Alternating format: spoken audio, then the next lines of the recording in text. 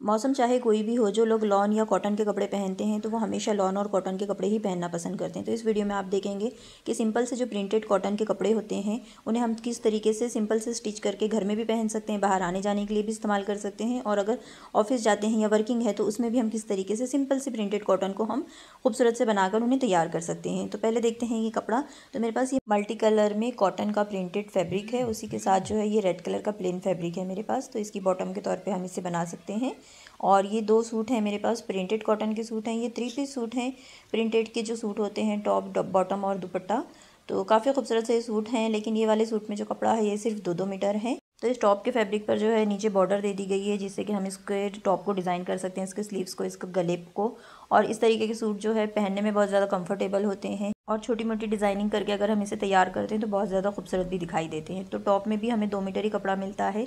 ये सस्ती रेंज वाले सूट हैं तो इसमें जो है कपड़ा हमें दो दो मीटर ही मिलता है। अगर हम इसमें अच्छी क्वालिटी के और हाई रेंज के अगर कपड़े लेते हैं तो उसमें हमें कपड़ा ज़्यादा मिल जाता है। तो ये पाँच सौ से साढ़े की रेंज के सूट है। इसमें हमें सिर्फ़ दो दो मीटर ही कपड़ा मिलता है। टॉप का दो मीटर, बॉटम का दो मीटर और दुपट्टा भी ज़्यादातर इसमें दो मीटर का ही होता है। तो दुपट्टे भी इसमें कॉटन के ही होते हैं, जैसे कि प्रिंटेड कॉटन के थ्री पीस सूट होते हैं तो इसमें दुपट्टे भी प्रिंटेड कॉटन के काफ़ी सॉफ्ट और काफ़ी कंफर्टेबल नरम और मुलायम इसके दुपट्टे होते हैं। सेम ये वाला भी जो सूट है, ये मेरा साढ़े पाँच सौ रुपये की रेंज का है और ये भी प्रिंटेड कॉटन का ही है। काफ़ी अलग तरीके से इसकी प्रिंट बनी हुई है और कलर भी आप देख सकते हैं कि बिल्कुल जो है कॉन्ट्रास्ट कलर हैं, इसके लाइट और डार्क कलर में जो है ये तैयार हो जाने के बाद ये कपड़े कुछ इस तरीके से दिखाई देंगे तो ये इसके अंदर जो है काफ़ी सारे कलर्स थे इस कपड़े में तो मैंने इसका पीला रंग उठाया है और पीले रंग की ही कपड़े की पाइपिंग करते हुए जो इसके गले को डिज़ाइन किया है।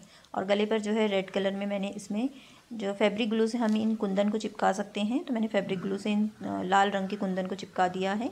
और साथ ही में जो है इसके स्लीव्स पर भी मैंने येलो रंग की पाइपिंग कर दी है और नीचे दामन पर भी मैंने पाइपिंग की है, आगे और पीछे दोनों ही तरफ़ से। ये ये है इसकी बैक साइड गोल गले के साथ तो इसमें मैंने पीला रंग उठाया था तो इसकी बॉटम भी मैंने पीले रंग की ही रखी है। और अगला सूट देखते हैं तो ये वाला जो है इसकी बॉर्डर जो थी वो दो मीटर होने की वजह से काफ़ी कम थी तो इसके गले और स्लीव्स पर मैंने इसकी बॉर्डर यूज़ नहीं की है। बल्कि इसके घेरे पर ही मैंने इसकी बॉर्डर रखी है, आगे और पीछे दोनों तरफ़। और गले को सिंपल सी लेस लगाकर इसे डिज़ाइन किया है। गले पर भी और स्लीव्स पर भी लेस लगाकर इसकी कुर्ती बना दी है। तो सिंपल से कपड़े अच्छे लगते हैं घर में पहनने के लिए डेली वेयर के लिए, या फिर वर्किंग वुमेन है, कहीं बाहर आने जाने के लिए कंफर्टेबल होते हैं, दिखने में भी अच्छे लगते हैं। तो बॉर्डर पर भी जो है ये लेस लगा दी है और आगे और पीछे दोनों साइड पर इसकी जो है ये बॉर्डर यूज़ की है। साथ ही में ये है इसकी बैक साइड पीछे की तरफ़ इसकी बॉर्डर है, इस तरीके से सिंपल सी इसकी बैक साइड है।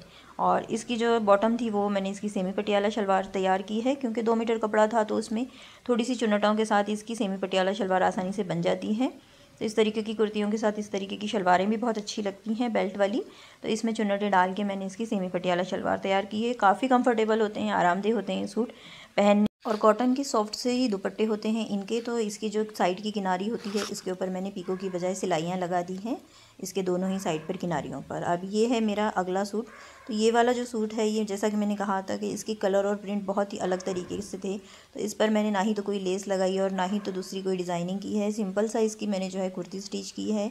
तो कलर देख सकते हैं आप इसमें किस तरीके के अलग अलग शेड के कलर थे और थोड़ी सी प्रिंट बनी हुई थी तो इसको बिल्कुल सिंपल सी कुर्ती स्टिच की है और बहुत खूबसूरत लग रही थी। ये पहनने में भी बहुत खूबसूरत लगती है। तो कुछ कलर या कुछ प्रिंट ऐसे होते हैं कि उन्हें हम सिंपल ही स्टिच करते हैं तो वो खूबसूरत दिखाई देते हैं, वरना ज़्यादा कुछ अगर हम उसमें लेस लगा दें या डिज़ाइनिंग कर दें तो कुछ ज़्यादा उभर कर दिखाई नहीं देते। तो ये इसकी मैंने सादी सी शलवार बनाई है।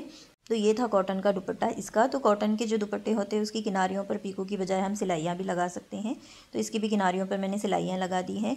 तो इस तरीके से ये सिंपल से कॉटन के प्रिंटेड सूट जिन्हें आप लोगों के साथ शेयर किया इस वीडियो में, जो कि पहनने में बहुत ज़्यादा कंफर्टेबल होते हैं, आरामदेह होते हैं और दिखने में भी बहुत ज़्यादा खूबसूरत होते हैं।